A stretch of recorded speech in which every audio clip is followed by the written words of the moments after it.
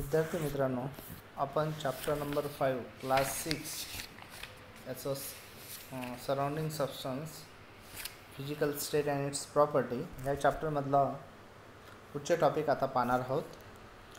Let's try दिस म्हणजे एक activity करून पाहिजे ती आपल्याला.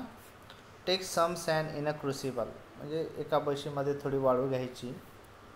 Put few iodine crystal in on it त्यात काही आयोडीनचे खडे आपल्याला ठेवायचे त्या बशीमध्ये किंवा त्या क्रुसिबलमध्ये place the crucible on tripod tripod to heat it नंतर ते जे क्रुसिबल आहे क्रुसिबल म्हणजे एक बशीसारखं एक वस्तू आहे. त्याच्यात ते आपण ट्रायपॉड स्टँडवर ठेवलेलं आहे. हे बघा इथं आकृतीत दिसलेलं आहे. दिसतं आहे आपल्याला हे याला ट्रायपॉड स्टँड म्हणतात.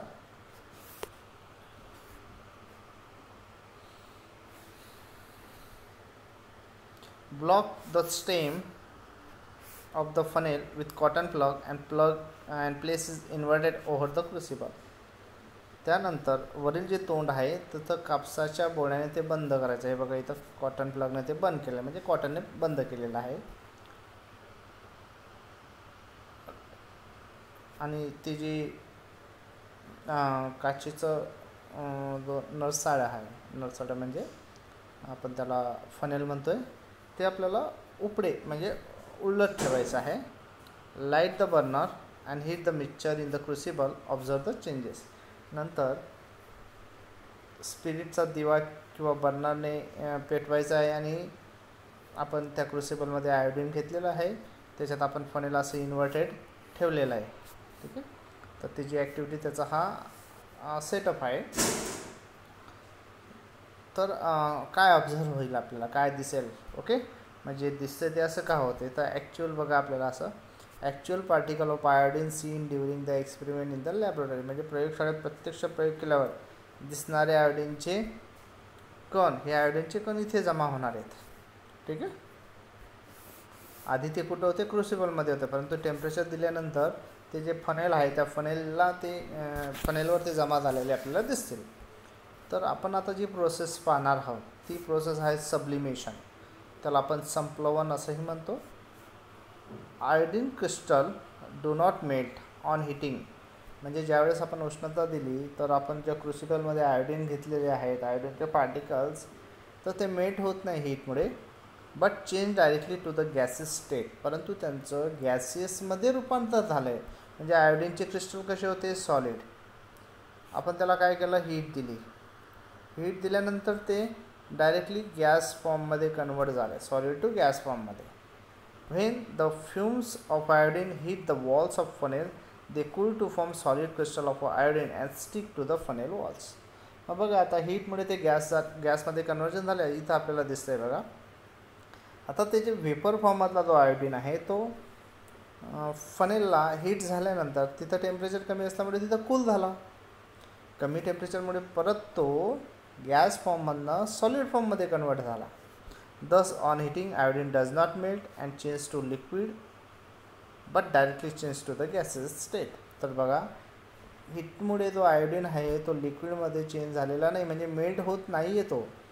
परंतु तो डायरेक्टली गॅसेस स्टेटमध्ये चेंज होतो याला आपण सब्लिमेशन असं म्हणतो आहे the change of solid substance directly into gas or vapour without first changing into liquid is called as a sublimation ही सब्लिमेशनची डेफिनेशन आहे की ज्यावेळेस एखादा सबस्टन्सला हीट दिल्यानंतर तो सॉलिड स्टेटमधनं डायरेक्टली गॅसमध्ये म्हणजे तो लिक्विडमध्ये कन्वर्ट होत नाही चेंज होत नाही सॉलिड टू डायरेक्टली गॅसमध्ये होतो तर त्याला आपण सब्लिमेशन असं म्हणतो. त्या प्रोसेसला सब्लिमेशन असं म्हटलं जातं.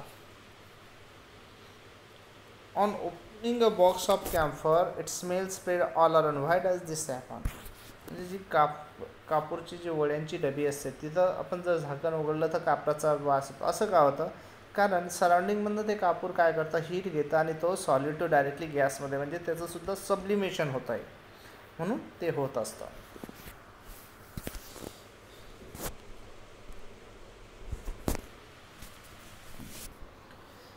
How will you identify the following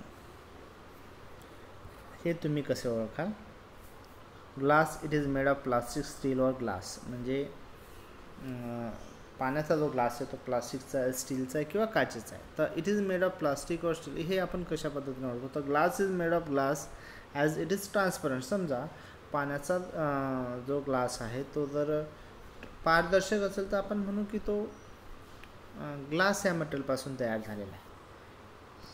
rod iron और ॲल्युमिनियम म्हणजे सळी जी आहे लोखंडी की ॲल्युमिनियमची आहे. Rod is made up of iron as it is seen to be opaque opaque and dark जर आयरनची असेल तर ती डार्क असणारी आणि अपारदर्शक आपल्याला दिसणार आहे. डोर वुडन और ग्लास म्हणजे जो खोलीचे दार इथे लाकडी किंवा काचेचे. Door is wooden it is seen to be opaque म्हणजे डोर जर लाकडाचं असेल तर ते अपारदर्शक असेल. अपारदर्शक असेल ओ पी क्यू असेल. White powder salt or chalk powder. म्हणजे पांढरी जी पूड आहे ती मिठाची की खडूची? तर powder can not be identify just like that म्हणजे आपण ती पावडर काय फक्त रंगावर ना आपण आयडेंटिफाय नाही करू शकत but it have to dissolve in water परंतु पाण्यामध्ये आपण ते डिझॉल्व करू शकतो. सपोज चॉक पावडर असेल तर will not dissolve in water तर ते पाण्यात डिझॉल्व होणार नाही. सॉल्ट असेल तर इट कॅन बी डिझॉल्व ते डिझॉल्व होऊ शकतात. Okay to answer the above question you consider their property म्हणजे वरील प्रश्नांचे उत्तर देण्यासाठी आपल्याला त्या सबस्टन्सचे प्रॉपर्टीज म्हणजे गुणधर्म माहीत असणं खूप गरजेचं आहे. एक्झाम्पल आता प्रॉपर्टीज कुठल्या असतात? देअर ट्रान्सपरन्सी म्हणजे पारदर्शकता. हार्डनेस कठीणपणा. वेट जडपणा कलर त्याचा ठराविक रंग असतो सबस्टन्सला तो. साऊंड प्रोड्यूस फ्रॉम मीट तर त्याच्यापासून निघणारा जो आवाज आहे. सॉलिबिलिटी इन वॉटर पाण्यामध्ये विरघळणे इत्यादी त्या प्रॉपर्टी आहेत. याच्या आधारे आपण ते सबस्टन्स त्या प्रश्नांची उत्तरं देऊ शकतो. Etcetera substance can be identify studying their property म्हणजे गुणधर्माच्या अभ्यासाने आपल्याला विविध पदार्थ हे ओळखता येतील. They can be put to use according to their properties व प्रॉपर्टीजनुसारच आपण ते सबस्टन्सचा यूज हे करू शकतो डेली लाईफमध्ये let's study the property of substance is greater detail तर आपण पदार्थांच्या गुणधर्माची आता सविस्तर माहिती घेणार आहोत.